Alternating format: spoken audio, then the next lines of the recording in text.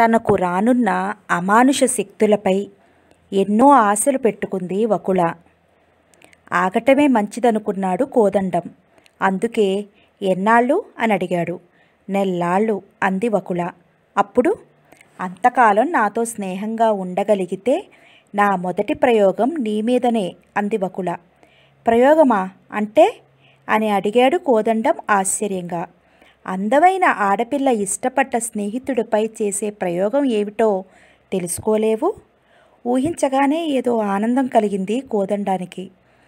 ఊహలో పరవశిస్తూ అతడు రోజులు గడుపుతున్నాడు. వకుల రోజులు లెక్క పెట్టుకుంటోంది. జపం చేయాల్సిన ఆఖరు అమావాస్య సరిగ్గా ఇంకా నాలుగు రోజులుంది. ఇంతవరకు అన్నీ సవ్యంగా అయిపోయాయి. ఇది కూడా సవ్యంగా అయిపోతే అప్పుడు ప్రొఫెసర్ మహాదేవుడు కుర్చీలో కూర్చుని చేతి గడియారం వంకనే చూస్తూ మిస్టర్ లింగం సొల్యూషన్ రంగు మారిందా? అని అడిగాడు. ఇంకా లేదండి అరిచాడు లింగం. ఈ పాటికి రంగు మారాలే అని మనసులో గొణుక్కుని స్టాప్ వాచి ఉపయోగించు సరిగ్గా ఎంతసేపటికి రంగు మారిందో సెకండ్లతో సహా చెప్పాలి అంటూ అరిచాడు మహదేవుడు. ఆ ఏర్పాట్లన్నీ ముందే చేశాం సార్ అన్నాడు లింగం. మహదేవుడు లింగం మాట వినలేదు. ప్రయోగం గురించి గంభీరంగా ఆలోచిస్తున్నాడు. ఆయన ఆలోచనల్లో ఉండగానే కాలింగ్ బెల్ మ్రోగింది. ఇంటి పనివాడు వెళ్ళి తలుపు తీశాడు. ప్రొఫెసర్ గారు ఉన్నారా? ఉన్నారు. మీరెవరు? నా పేరు భీమారావు. జర్నలిస్ట్ని. ఆయన్ని కలుసుకోగోరుతున్నాను అన్నాడు అతను. పనివాడు భీమారావును వేరే గదిలో కూర్చోబెట్టి మహదేవుడికి చెప్పాడు. తనలో తానే ఏదో గొణుక్కుంటూ మహదేవుడు ఆ గదిలోకి వెళ్ళాడు. భీమారావు లేచి నిలబడి నమస్కారం సార్ అన్నాడు. కూర్చో అన్నాడు మహదేవుడు. ఇద్దరూ కూర్చున్నారు. మీరు ఉద్యోగానికి రాజీనామా ఇచ్చారని తెలిసింది. కారణం తెలుసుకోవచ్చా? అని అడిగాడు భీమారావు. చాలా సింపుల్. నేను చేయాలనుకున్న పరిశోధనలకు వాళ్ళు ఒప్పుకోలేదు. అవి కొనసాగించడం నా జీవన ధ్యేయం. అందుకే ఉద్యోగం మొదలుపెట్టి ఇంట్లో పరిశోధనలు మొదలుపెట్టాను. డబ్బుకి నాకెప్పుడూ ఇబ్బంది లేదు. ఇలా అడుగుతున్నానని ఏమీ అనుకోకండి సార్. ఇప్పుడు ఇండియాలో సైంటిఫిక్ అడ్మినిస్ట్రేషన్ చాలా ఘోరంగా ఉంటుంది. టాప్ లెవెల్లో ఉన్నవాళ్ళు మిగతా వాళ్ళను పైకి రాకుండా అణచివేయడానికి ప్రయత్నిస్తున్నారని అంతా చెప్పుకుంటున్నదే. మీ రాజీనామా అలాంటి కేసేనని నా నమ్మకం. మీ ఉదాహరణలో ఓ వ్యాసం రాశానంటే ministry of science and technology అదిరిపోవాలి అన్నాడు భీమారావు. అబ్బే అదేం లేదు. నాకు పై అధికారులతో గొడవలు లేవు. మా రిలేషన్స్ చాలా చక్కగా ఉన్నాయి. అయితే ప్రతి సంస్థకు కొన్ని పరిమితులు ఉంటాయి ఆ పరిమితులకు లోబడి పనిచేయాలి మేము. నేను ఎన్నుకున్న పరిశోధన ఆ సంస్థ పరిమితిలో లేదు. ఇందులో ఎవరినీ అపార్థం చేసుకోకూడదు. అనవసర అనవసరపు రాజకీయాలు నాకు గిట్టవు. కాబట్టి నిన్ను నిన్ను నిరుత్సాహపరుస్తున్నాననే చెప్పాలి అన్నాడు మహదేవుడు. No no no not at all. Sir చెప్పింది వినగానే నాకు ఉత్సాహం పెరిగింది. ఉద్యోగం కూడా వదిలి కొనసాగిస్తున్నా ఆ పరిశోధన ఏమిటో తెలుసుకోవాలని నేను తాపత్రయపడుతున్నాను అన్నాడు భీమారావు. ఒక్క మాటలో చెప్పాలంటే చచ్చిన వాళ్ళను బ్రతికించడానికి ప్రయత్నిస్తున్నాను. అన్నాడు మహదేవుడు తాపీగా. చచ్చిన వాళ్ళను బ్రతికించటమా? అది సాధ్యమా? ఆశ్చర్యంగా అడిగాడు భీమారావు. సాధ్యం కావచ్చునని నా తొలి ప్రయోగాలు సూచించాయి. అందుకే పరిశోధనలు కొనసాగిస్తున్నాను. నా అసిస్టెంట్ లింగం అహోరాత్రాలు శ్రమపడుతున్నాడు నా పరిశోధనల కోసం. అన్నాడు మహదేవుడు. సార్ చిన్న సందేహం. మీరు చచ్చిన మనుషుల్ని బతికించుకుంటూ పోతే ఈ ప్రపంచం ఏమైపోతుంది? మరో సైంటిస్ట్ ఎవడో ఇక మనుషులు పుట్టకుండా చేయాలి. అంతేనా? అన్నాడు భీమారావు. ఇలాంటి ప్రశ్న భీమారావు ముందే వేస్తాడని ఊహించినట్లుగా నవ్వాడు మహాదేవుడు. కానీ ఆయన వెంటనే మాట్లాడలేదు.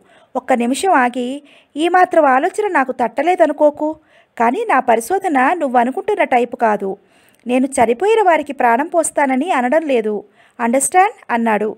ఇప్పుడు భీమారావుకి నిజంగా ఏమీ అర్థం కాలేదు. చచ్చిన వాళ్ళని బ్రతికిస్తానంటున్నాడు. పోయిన వాళ్ళకి ప్రాణం పొయ్యలేదంటున్నాడు. రెండు ఎలా సాధ్యం? తన సందేహాన్ని భీమారావు సూటిగానే అడిగేశాడు. మహదేవుడు మళ్ళీ నవ్వాడు. నేను అనుకున్న ప్రశ్నే వేశావు. మీ జర్నలిస్టులకు కాకమ్మ కథలు అల్లడమే కానీ మేధావులతో మాట్లాడటం చేత కాదు. నీకు ఇప్పుడు కొన్ని ఉదాహరణలు ఇస్తాను. అర్థం చేసుకునేందుకు ప్రయత్నించు. ప్రొఫెసర్ మహాదేవుడు ఇచ్చిన మూడు ఉదాహరణలు ఇవి. పెట్రోల్ లేక కారు ఆగిపోతుంది. దగ్గరలోనే పెట్రోల్ బంక్ ఉంటే కారును కాస్త తోసి మళ్ళీ కొంత దూరం నడపవచ్చు ఆ తోయడంలో ట్యాంక్ అడుగున ఉన్న పెట్రోల్ ఎలాగో ఇంజన్లోకి ప్రవేశించి కారు మళ్ళీ స్టార్ట్ అవుతుంది. సిలిండర్లో గ్యాస్ అయిపోతుంది. స్టవ్ వెలగదు. కాసేపు ఓపిక్గా సిలిండర్ని కదుపుతూ కూర్చుంటే మళ్ళీ స్టవ్ వెలిగించవచ్చు రేడియోలో బ్యాటరీ అయిపోతుంది. బ్యాటరీని కాసేపు అటు మార్చి ఇటు మార్చి కుదిపి కదిపి మళ్ళీ రేడియోలో వేస్తే కొంతసేపు రేడియో పనిచేస్తుంది. మూడు ఉదాహరణలు నిత్యా జీవితంలో అందరికీ ఎదురయ్యేవే. మూడు కూడా శక్తికి సంబంధించినవే. ఒకటి కారును నడిపించే శక్తి రెండవది స్టవ్ను వెలిగించే శక్తి మూడవది రేడియోను పలికించే శక్తి. మనిషి కూడా ఈ మూడు శక్తుల కలయిక చలనం తేజం శబ్దం ఈ మూడు శక్తులు హఠాత్తుగా ఆగిపోతే వాటిని పునరుద్ధరించడం పునరుద్ధరించడం నా ఉద్దేశం. అని ఆగాడు మహాదేవుడు. అంటే అది మనిషికి ప్రాణం పోయడమే అవుతుంది కదా? అన్నాడు భీమారావు. అందుకే నువ్వు జర్నలిస్టుగా ఉండిపోయావు. నేను సైంటిస్టునయ్యాను అని నవ్వాడు మహాదేవుడు. నేను చెప్పిన మూడు ఉదాహరణల్లో కూడా శాశ్వత పరిష్కారం లేదు. ప్రాణం పోయడం ప్రసక్తి లేదు. ఆగిపోయిన కారు ట్యాంకులో పెట్రోల్ పోస్తేనే అది ప్రాణం పోయడం అవుతుంది. సిలిండర్ని మళ్ళీ గ్యాస్తో నింపితేనే అది గ్యాస్ స్టవ్కు శాశ్వత పరిష్కారం. రేడియోను బెడద లేకుండా వినాలంటే అయిపోయిన బ్యాటరీలు తీసేసి కొత్త బ్యాటరీలు వెయ్యాలి. కానీ నేను చూస్తున్నది శాశ్వత పరిష్కారం కాదు తాత్కాలిక పరిష్కారం. అంటే ఒకసారి చచ్చిపోయి నా కారణంగా బ్రతికిన మనిషి మళ్ళీ నూరేళ్ళు జీవించడు. అతడి అదృష్టాన్ని బట్టి గంటలో రోజులో నెలలో జీవిస్తాడు. ఇందువల్ల మీరు సాధించదలుచుకున్నదేమిటి? సామాన్య మానవులకున్న ప్రయోజనాలు ఏమిటంటే చెప్పాలనుకుని మర్చిపోయినవి ఏమైనా ఉంటే మనిషి వాటిని చెప్పుకుందుకు అవకాశం లభిస్తుంది. నాకు సంబంధించినంత వరకు ఒక అపూర్వ ప్రయోజనాన్ని ఆశిస్తున్నాను అని ఆగాడు మహాదేవుడు. భీమారావు తన వంక ఆతృతగా చూడడం చూసి తృప్తిగా నిట్టూర్చాడాయన. అదేమిటంటే మరణానంతరం ఏవైందో తెలుసుకునే అవకాశం కూడా ఉంది. భీమారావు శరీరంపై రోమాలు నిక్కబుడుచుకున్నాయి. ఎలా? అన్నాడు అప్రయత్నంగా. ఒక ఎక్స్ చచ్చిపోయాడనుకో అప్పుడు టైం పదయిందనుకో నేను ఎక్స్ని పదకొండింటికి బ్రతికించాననుకో పది నుంచి పదకొండు దాకా ఎక్స్ ఎలాంటి అనుభూతులు చెందాడు? అతడి అనుభవాలేమిటి? ఇలాంటివి తెలుసుకోగలిగితే ఈ సృష్టికి సంబంధించిన అసలు రహస్యం దొరికినట్లే కదా? అన్నాడు మహాదేవుడు. అవుననుకోండి కానీ చచ్చి బ్రతికిన మనుషుల కథలు కొన్ని నాకు తెలుసు. అవి ఒకదానికి ఒకదానికి పొసగవు అన్నాడు భీమారావు. మన కేసు అలాంటిది కాదు. వందల కొద్ది జనాన్ని పరిశోధిస్తాం. అంతమందిపై జరిపిన పరిశోధనలలో కొన్ని పోలికలు బయటపడక తప్పదు అన్నాడు మహదేవుడు ఖచ్చితంగా. మీ పరిశోధనలే కనుక ఫలిస్తే సృష్టిలో సంచలనం రేగుతుంది అన్నాడు భీమారావు. నీ జర్నలిస్టు బుద్ధి పోనిచ్చుకున్నావు కాదు. సంచలనం రేపడం నా ప్రధాన ఉద్దేశం కాదు. సృష్టిని తెలుసుకోవాలన్నది నా కోరిక. ఎంతకాలంగా మీ పరిశోధన ఒక దారికి వస్ ఎంత కాలంలో మీ పరిశోధన ఒక దారికి వస్తుందంటారు? అడిగాడు భీమారావు. ఈ రోజుకు అమావాస్య సరిగ్గా నాలుగు రోజులుంది. ఆ పై అమావాస్యకు ఇంజెక్షన్ తయారు చేయాలన్నది నా కోరిక అన్నాడు మహదేవుడు. అమావాస్య మంచి తిథి కాదు అన్నాడు భీమారావు. అందుకే నేను దాన్ని ప్రత్యేకంగా ఎన్నుకున్నాను.